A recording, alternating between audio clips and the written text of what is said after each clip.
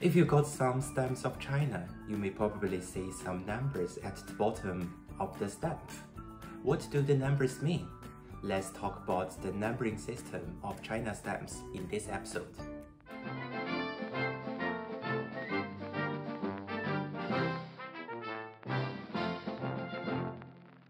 Last year, I made a video about the Chinese zodiac stamps and I promised I will make more videos about the stamps of China and it has been more than a year. And I'm sorry, but better than ever. Okay, about the numbering system. And first, let's take a look some stamps. Here are the stamps for the opening ceremony of the Winter Olympics last year. And a miniature sheet, three sets of stamps here. In the bottom left corner of a stamp, there is a 2022 Heaven 4, which means the fourth set of 2022. And in the bottom right corner, there is a 2 heaven 1 for the first stamp and 2 heaven 2 for the second stamp. These are the set information, which means the first and second stamp in this set. And the letter J is for 纪念邮票, which means commemorative stamp in English. The numbering system is very easy to understand, but this is not the end of the video.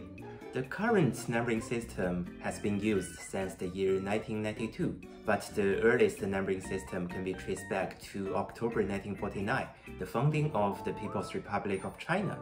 So actually, the stamps we are talking about in this episode are the stamps used in mainland China after the year 1949. Before I talk about the numbering system in detail, let's figure out the types of the stamps of China there are three types of numbered stamps, commemorative stamps, special stamps, and the special issues. And commemorative stamps are issued for some events or anniversaries which have to be celebrated on a certain date or in a certain period. For example, the Olympics. And the special stamps are issued for something you can celebrate at any time such as some uh, classic novels, such as The Journey to the West, and some tourist attractions. The Chinese zodiac stamps are special stamps, not commemorative. Maybe you think they should be commemorative because uh, they are for the Chinese New Year, but in fact, the same is the zodiac sign, so they are special stamps.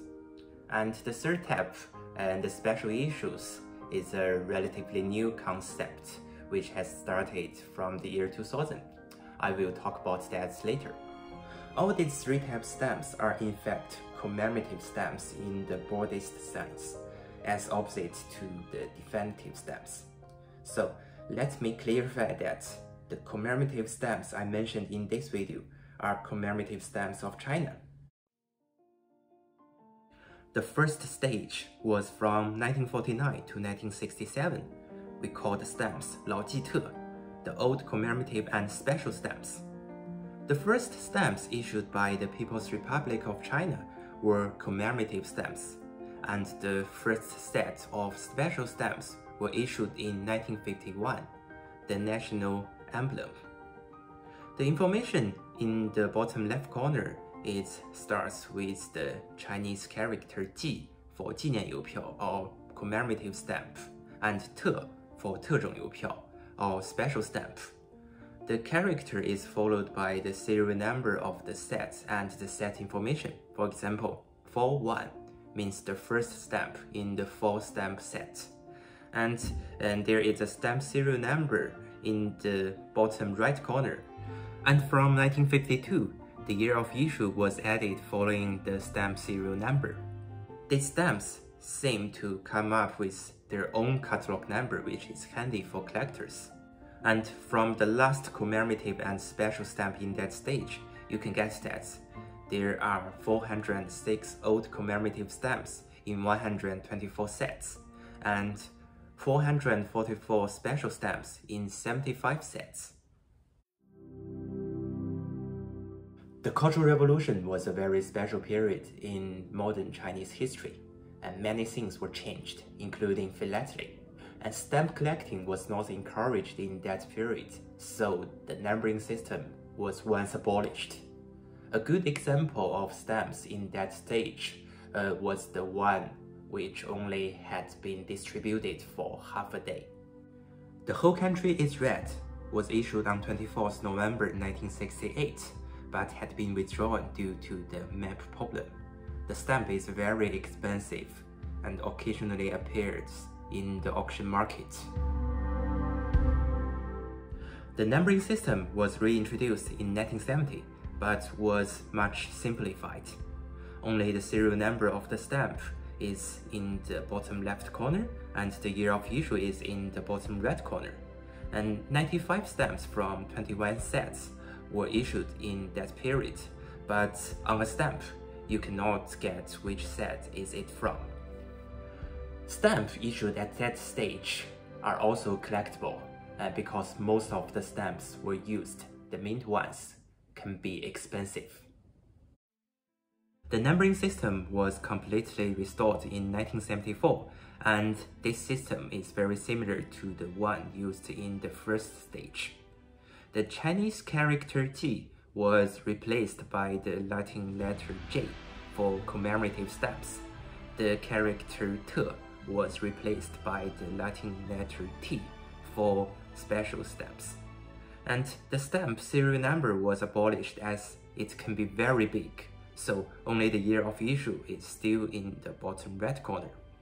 And there are 185 sets of J stamps and 168 sets of T stamps.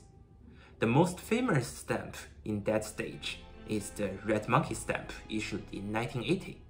The set serial number is T46.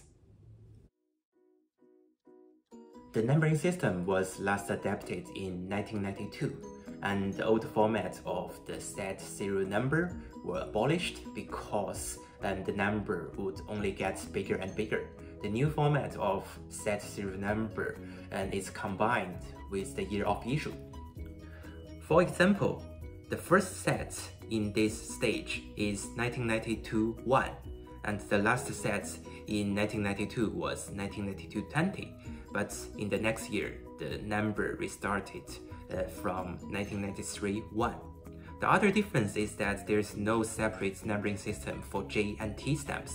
For example, 1992-4 is a set of T stamps, but 1992-5 is a set of J stamps. The set serial number is in the bottom left corner and the set information and type of the stamp are in the bottom right corner. And let's go back to 1992-1. It's the 1992 year of the monkey stamps, and it's a very important set of stamps in China's postal history, not only because of the new numbering system, and in that year, the name of the postal administration was simplified from People's Post of China to China Post, and the English word China first appeared on the stamps. And also there are the first stamps in the second series of the Chinese zodiac stamps. And also, this was the first set of stamps issued in the year I was born, um, but due to the large number of stamps were issued, this set of stamps are almost worthless. Usually, at the end of a year, you can get the stamp issue plan for the next year and also includes the uh, serial numbers. But sometimes, some unplanned stamps are issued and these are the third type of the numbered stamps, the special issues. The first special issue was issued in 2000 and the latest one was the COVID stamp the 11th set of the special issue.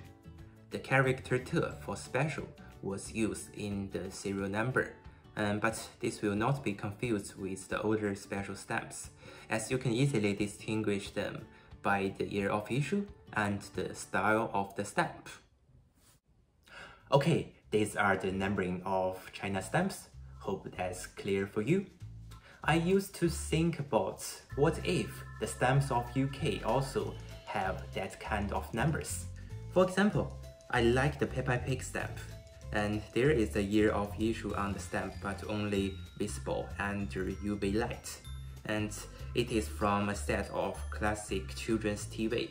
And I'm not interested to get the other stamps in that set, but and there is not much information on the stamp, I can pretend to think that this is the only stamp in the set. But if there are numbers like that on the stamp, I would probably want to get the whole set. And that's how the numbers encourage us to collect stamps. Tell me what do you think in the comment section. If you like this kind of video, I can talk more about the stamps of China in the future, as such as the stamps without the number. And I promise you don't have to wait another year. As always, if you enjoyed this video, don't forget to hit the like button, subscribe and follow me on social media if you haven't. Thank you so much for watching. See you next time.